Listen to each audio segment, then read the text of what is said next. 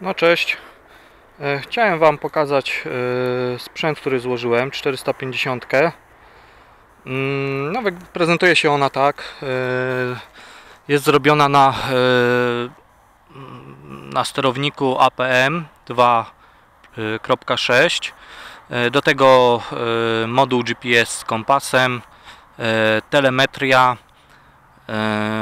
nadajnik FPV, Boscha.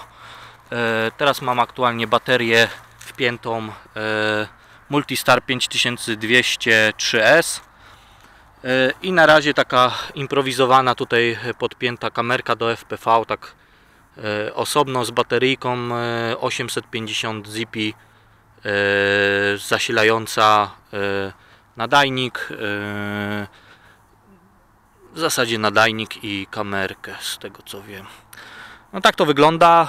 E, Nie jest to jeszcze super uporządkowane, ale jak tylko e, dojdzie mi gimbal, Chińczyk trochę zawiódł, to myślę, że troszeczkę to przebuduję. Co tu jeszcze mam? Tu jeszcze mam takie e, ramię. Jeden z użytkowników forum coś takiego pokazał. Sprawiłem sobie to fajnie, to działa. Monitorek, aparatura i tutaj jeszcze mam telemetrię program em, Tower. E, To jest telemetria do e, kontaktu, do komunikowania się z, e, ze sprzętem.